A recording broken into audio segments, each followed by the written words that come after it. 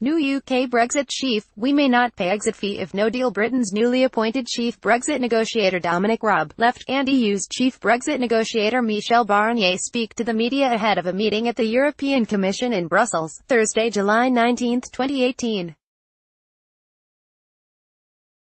Britain's chief Brexit negotiator David Davis resigned less than two weeks ago and his successor Raab met his EU counterpart Michel Barnier for the first time late Thursday. Stephanie Lecocq, pool photo via AP. London, AP, Britain's slow move away from the European Union took a new twist Sunday as the new Brexit chief suggested that Britain might not pay its £39 billion $51 billion divorce bill if no trade agreement with the European Union is reached. Brexit Secretary Dominic Raab told the Sunday Telegraph that there must be conditionality between Britain making the hefty exit payment and its ability to create a new relationship with the EU.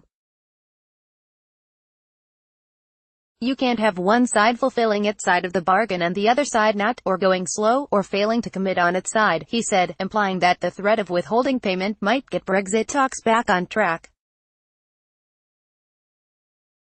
Britain and the EU remain far apart on terms of a new trade setup. British Prime Minister Theresa May's Conservative Party is also deeply split over what Brexit policy to support. Raab replaced David Davis, who resigned two weeks ago to protest May's soft Brexit plan.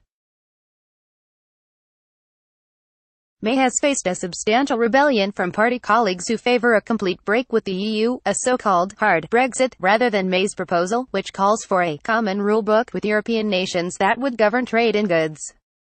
EU negotiator Michel Barnier is also lukewarm on May's latest proposal, asking many questions about its viability Friday.